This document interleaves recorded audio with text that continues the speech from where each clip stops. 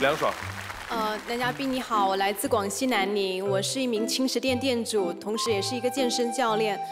那其实我觉得街舞也是一个很有魅力的一项运动，然后我也很欣赏会跳舞的男生，但是我就很可惜不不太会跳舞。然后前面听你说就是很会做菜，然后那些家居神器呢让我大开眼界，因为我是一个不下厨房的人。哦，你会介意你的女朋友完全不会做这些事情吗？嗯其实对我来讲，你现在不会没关系。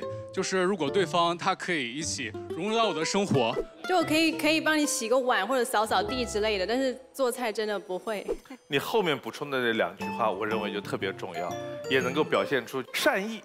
你看，如果我真的不会做饭，哎，但是我我愿意帮忙，我愿意洗碗呢，我愿意扫地啊，这就是愿意试出共同生活的善意，给人感觉就很舒服。